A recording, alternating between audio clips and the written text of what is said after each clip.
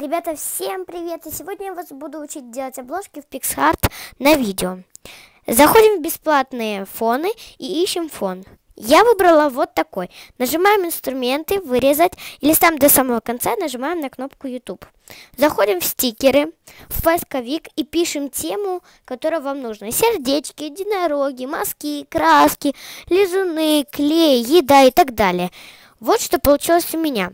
В принципе, вы можете в PixArt писать текст, но мне здесь не нравятся шрифты, они здесь однотипные и неинтересные, так что мы будем э, делать шрифты в Молдив.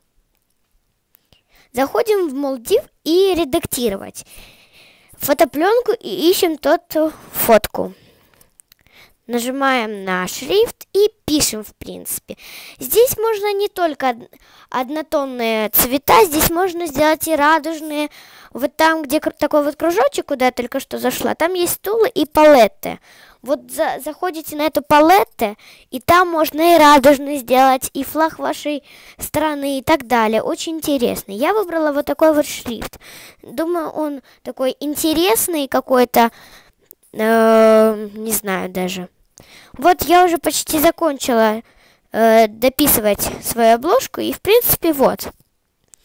Ребята, надеюсь, вам понравилось это видео. Если это так, то поставьте лайки и подписывайтесь на мой канал. И всем пока-пока!